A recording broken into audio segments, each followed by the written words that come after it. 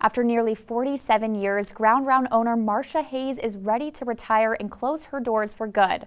The St. Joseph staple has been bought out by a new owner, and Hayes, well sad to close this chapter of her life, is ready to move on to the next endeavor. Though she says hospitality has been and always will be a part of who she is. I started in 1977, came here to go to school Missouri Western, and uh, needed a part time job. And I started as a hostess. I had never worked a restaurant, never looked back. I guess 46 years later, I'm still at it. Hayes says this goodbye is bittersweet and that the Good Time Meeting Place has always been a major part of her family. I met my husband there. Both of my children were virtually almost water breaking time to be born. I worked up till the end. It was my life. I was married to the restaurant before I was married to my husband, Craig. And I have pictures of my mom at the ground round pregnant with me. She had her baby shower for me there. I grew up in the restaurant. I have pictures of me wearing the waitress uniform with my own little name tag.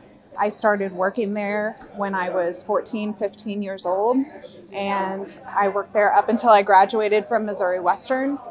So Ground Round has literally been a part of my life as long as I can completely remember. Hayes says creating a family friendly atmosphere has always been a part of who she is, and community members are glad to have been a part of that legacy. The environment is, is family friendly.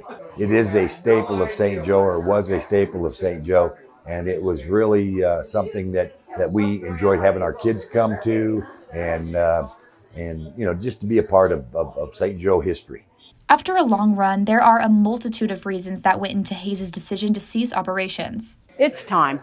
46 years, things have changed. You know, COVID has changed so much, so many, and it's just changed the way you have to do business. Uh, it's hard to get products sometimes, and it's just it's just time. I'm ready. So what's next for Marcia? Get in the RV and travel the NASCAR circuit. Hayes' daughter, while sad to see the place she grew up in come to a close, is excited for what's in store for her mother. All good things must come to an end we don't want it to end, but my mom deserves this retirement. She's worked here, you know, since she was in her 20s. And so I'm, I'm so glad to see her happy and to see the next part of her life, you know, evolve and shape. So.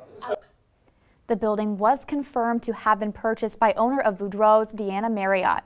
According to Hayes, Marriott intends to rebrand and reopen the restaurant here soon.